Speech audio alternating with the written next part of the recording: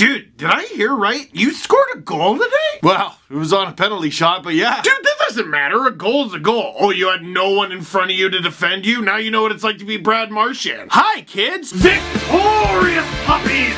This team is ruining my life. Why do I watch hockey? Stress relief! We can, and we will.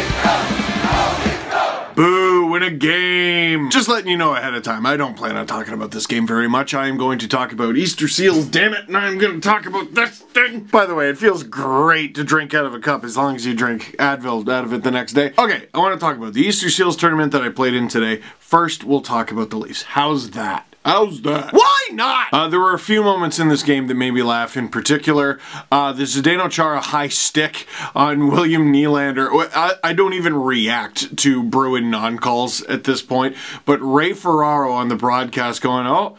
Bruins get away with one early here. I was just like, can we chisel that in stone? Can I tattoo Bruins got away with one on my forehead, please? Chara is literally the biggest player in NHL history with probably the longest stick in NHL history. What are you looking at? Keeping away that Chara had to sign that stick and give it to the ref after the game, but he didn't even have to reach for a pen. He just signed it in Willie's blood. There was that new helmet rule that came into effect. Charlie Coyle's helmet came off, and by came into effect, I mean nothing happened. He chipped the puck in and then just kept going. He scored the first goal. Ah, get those signed sticks, boys. Being a ref's hard, I get it. Boo, you're bad at this. It's fine that half the time I'm watching Leaf games now, I am just like lazily going boo. But it's okay though, it's okay. Jake Muzzin throws it on. Auston Matthews high sticks it. Oh, it's a high stick. It's Matthews. It's not going to count. I didn't think it was a high stick. It was close. It was real close, but I thought it should have counted. I just have no faith in anything going right for this team. The Leafs get several chances, and honestly, they look great. They really do. They look great out there. Except for when they actually do get the power play. The one thing where I'm going to talk out of both sides of my mouth is complaining that the Bruins should have taken more penalties, and it doesn't matter. The Leafs power play is useless. All right, we head to the third period. It's all knotted up at once. It's an important game. We know that. It's Boston. Even on the broadcast, they're talking about, wow, really important part of their schedule, important part of the game. I thought they were about to say most important period of the season, which, yeah, at this point, it's becoming that way. Brad Marchand scored 11 seconds in. 11. Man, that wasn't Cody Ceci. I have a hard time believing that Mike Babcock told Morgan Rielly, hey, just do nothing. Something is so deeply, deeply wrong at the core of the way this team thinks defense. And watching the replay back, I look and I sort of go, well, I wish Freddie would have had that, but also I think he was blindsided by how awful the play was. But it's okay because they get to play at both ends of the rink, right? Only a few minutes later, Zach Hyman fighting off like literally three guys, just being the most Zach Hyman. Digs it out, gets it to Johnny Captain, over to Kasperi Kapanen, wide open net, you can shoot it anytime now, Cappy. Okay, he does, and he scores. It's tied. Okay, okay. They're tied 2-2. This is exactly what the Leafs have been trying to preach, right? It's tied 2-2. It's tight. It's a tough league out there. You're going to have to battle for every inch of ice. You're going to have to battle to win games. You're going to have to battle to climb the standings. And this is the type of, oh my God, the Bruins have scored already. Oh my God, it was Brad Marchand again. This turned into a goal like two seconds later. All five Leafs. I don't know what you're all doing so deep. And while you're deep, hey, maybe get the guy who's super deep. Guy was able to shoot, gobble his rebound, and read the newspaper. Are you kidding? This pair is terrible. Terrible. I don't have a joke for that. I don't have a bit. I don't have a shtick. They're awful. And different situation, but this tweet is just perfect. Jeremy Bracco isn't having a spectacular year, but I'm almost at the point where I want to call him up, give him the keys to the power play, and say fix it. And I don't mind that idea. In fact, I might even like that idea. But the problem with that idea is it involves the Leafs changing literally a single solitary thing about them. Hey, uh, RD sucks. Rielly Ceci again. I don't think Muzzin-Barrie again, but Dermott and guy whose name I didn't even bother to learn. I want you to consider the possibility you might be bad at this. Chara, slap shot, empty netter, woo, puck gets stuck, cool, let's definitely prolong this, game's done. Boo. In terms of like entertainment value and effort and all that, yeah, the Leafs looked way better, uh, for sure. Uh, just the same stupid mistakes. same stupid mistakes. And I feel like that's almost more frustrating. We've been watching them play a lot of boring hockey lately, but I, I'm almost more frustrated watching them play 55 minutes of competent to above competent hockey, only to throw it away by just completely throwing their brain in the trash for five minute spans. Here's a tweet. When you see a calm, quiet, professional guy like Tavares breaking his stick in anger, that's when you know this is only going to get worse. I've never seen him do that. Honestly, do you see things getting any better? Do you? Uh, no. No. God, no. The mantra is it's early and the schedule's hard. Uh, so that's what they're going with. They're not going to change anything, so have fun with that. Also, Kerfoot's out. Also, looks like Moore's out. And oh my god, is Muzzin holding his hand? Please no. Anyway, have fun. Not that I'm counting, but the Sens have 11 losses and the Leafs have 12. Cool! Brad Marchand wins the Player of the Game honors and shows off the trophy, because there's a Hall of Fame game trophy, to the Toronto crowd before leaving the ice. Super cool. Leafs and Senators fans, as both teams sit outside of a playoff spot in mid-November. Followed by the Paul Rudd meme, and, and just a little aside, don't you want to just like talk to Paul Rudd. Like, I'd really like to hang out with him. Oh, here's a tweet. Points percentage since January 1st. Oilers, 0.531. 30 wins in 64 games played. Leafs, 0.531. 29 wins. Ha, huh, that's less. Boo, you suck! So listen, let's go through some facts. Uh, they're bad. So uh, there's one. Uh, number two, they're not going to do anything about it because uh, I guess they don't feel compelled uh, to make the changes. Okay, fine. So that's two. So here are your two options as a fan. Uh, you can suck it up and just wait slash hope that things get better, or you can just tune them out. That's it right? Like, what else is there? They're bad, they're not gonna do anything. I think you're starting to see why I don't feel like talking about this game any longer. The Leafs haven't beaten a team of consequence in regulation since last season. Sens fans tweeting stuff, and Brad Marchand rubbing your nose in it, and tweets relating the Leafs to the Oilers. Just keep getting your head dunked in the toilet. Last one, what's up with Morgan? Did Hainsey make up for Morgan's defensive deficiencies last year, making him look like a better defenseman? Or is Ceci bringing him down this year, making him look like a worse defenseman? A combination of both. I'm sorry, dude. Cody Ceci's presence and Ron Hainsey's lack of it had nothing to do, had no impact on Rielly's performance during the Bruins' second goal there. I think they just might be in trouble. But hey, let's talk about something a little happier. So today was the Eric Lindros Celebrity Hockey Classic in support of Easter Seals Ontario, which, I don't know if I've told you this before, is a charity that helps out kids with physical disabilities. I know I've been bugging you for, I think, almost every single video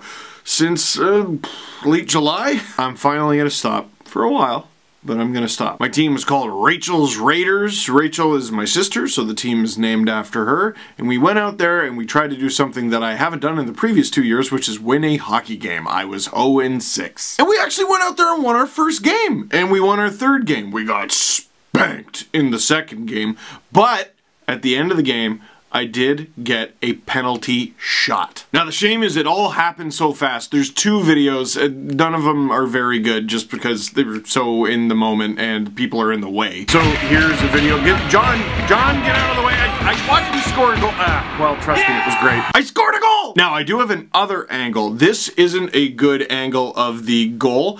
I want you to look at Red Helmet that's Adam Wylde. Look at his reaction and tell me he's not the best friend ever.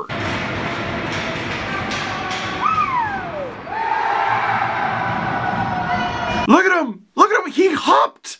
Look at him! Look at the hippie hops! The tippy taps! And I didn't have the big celly, it wasn't even good. I almost fell down, actually. I just did one of these and was sort of looking down in disbelief. When I looked up, I see Ian Tulloch from Leafs Geeks just like, ah! The whole team left the bench and mobbed me. It was great. Hey, you ever play in a hockey tournament hungover because you've been drinking out of a cup all night and then Eric Lindros comes up to you and bangs you repeatedly on the helmet with his giant ham fists? No? Just me?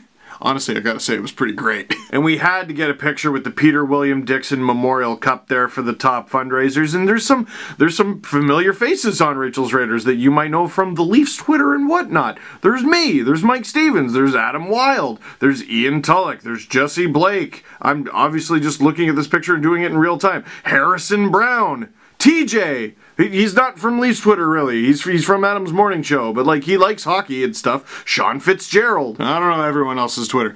There is one friend of mine who I want to shout out in particular, not just because he helped recruit uh, several team members, and not just because he helped donate a lot of money to a cause that I obviously care about a lot, so much so that I'm losing my voice. Uh, my buddy Graham Jenkins uh, had to leave the game because he wrecked his back. It was it was bad. So badly, in fact, he couldn't walk, so they had to get an ambulance. But he was in good spirits, as evidenced by what is now my favorite picture in the entire world.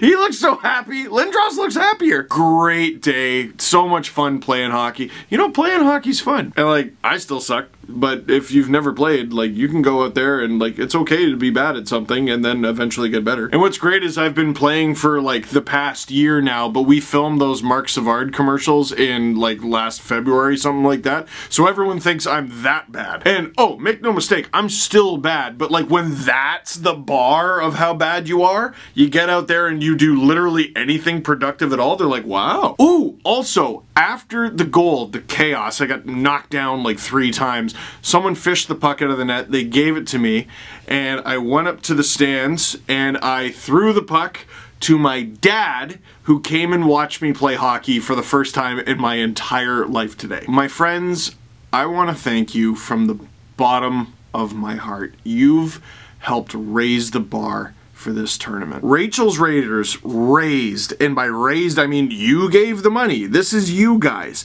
$103,878.29. That's a number so huge I don't know how to process it. I, I really don't. Easter Seals helped my family when I was young, helped out my sister, and I, I just, I don't know how to properly articulate it. I don't know how to properly articulate how much good you've done, how much good can be done with $104,000. So if you donated a bajillion dollars or five or two or one or whatever, or if you didn't donate but you were just liking and retweeting and everything and just getting the word out, have a sip. You're on this team too. I want to do a day with the cup I really, I really want to do a day with the cup. You don't understand. Since last year, like when I got close to being the top fundraiser, I was like, no, I want this cup. I, I want to win. Striving for something for a year and achieving it is extremely gratifying, and I only have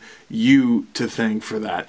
And you know what's more gratifying? Raising over a hundred grand for a kids charity, guys. Like, holy smokes, your gems. I want to give a shout out to two particular people uh, because they were just so above and beyond. Nick Gould was making all kinds of generous donations to the team, but they were funny amounts of money, so we looked into it and we're like, oh, it's exactly $8,000. We contact him, he tells me his favorite player is Mats Sundin. I go, what? And during the theater event a few weeks ago, he donated $5,000 on top of it.